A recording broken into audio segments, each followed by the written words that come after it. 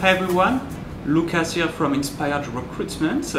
I'm very excited you decided to join us today for our tutorial on how to build a good CV. Don't worry, you don't need to be a design expert and it's just going to take a few minutes, so stay with us and let's start.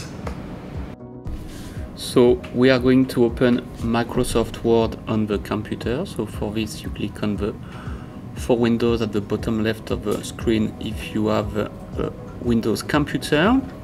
Once it's open we click on new, search for online templates. We can write either CV, either resume. So you can see that we have a large range of choices for both options.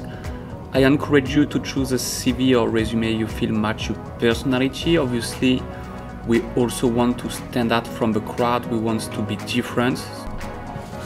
The system is very similar if you use a Mac, so you can also open uh, Microsoft Word. Just the search bar is at the top right of the screen instead of being on the left. And here we can write CV or resume, and you can see that we also have an extensive choice of options. Uh, I'll let you decide, will it take you time? You can scroll down. Uh, just before also you might pick an option, I'm going to show you another alternative. It's called Canva. For this one, you are going to open Google Chrome. You are going to write down Canva, C-A-N-V-A. You click on the link. You might need to create an account. And on the search bar, we can also write res resume or CV. And you will see that we have also a lot of professional and great alternatives. Now that we have selected our templates, we are going to write down at the top of our CV our contact details, including phone number, email, and address. Obviously, we want to be reachable. Then we are going to write down our teaching accreditation or registration number, so schools or educational establishments can double check straight away that we are compliant. We also want to write down the subjects or the year level we prefer or we are qualified to teach. We also want to include our working rights if we are citizen, if we have a visa or if we need a visa. Right now some schools in regional area are looking to sponsor so don't desperate, it might be the right time for you.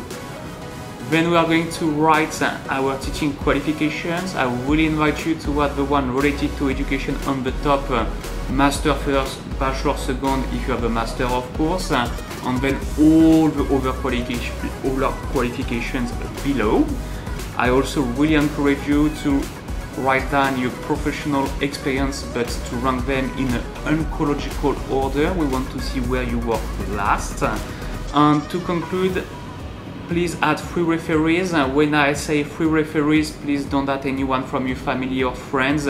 You want to try to get your supervisor or to managers or school principals or head of subjects you have worked in the past. If you are a graduate, you can simply write down your lecturer or the course manager of your teaching degree, master or bachelor, that has no importance. We are now almost done. I would love to have a look at your CV, so if you want, you can submit your CV at enquiries at inspiredrec.com.au. The email should appear at the bottom of your screen one of our team members will review it and will give you a call to confirm that everything is ready.